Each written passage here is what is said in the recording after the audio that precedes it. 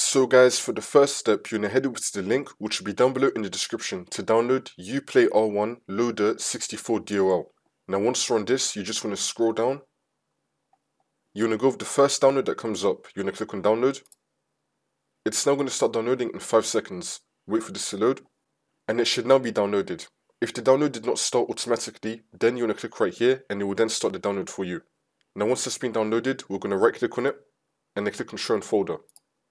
And we should now be in our downloads folder with the download. And now once you're on this, you're going to right click on your download and then click on extract all. We can untick this box and then click on extract. And we should now have a new folder right here. You're going to double click on it. And you should now be seeing uplay r1 loader 64.dll. Now we're going to right click on this file and then click on copy. So you want to copy this file. So now once you've copied the file, you want to paste it into the game folder or the application folder that you're having a problem with. So let's say for example I'm having a problem with Far Cry 4. I'm going to go to my Far Cry 4 games folder. So for me personally, it's going to be on this PC.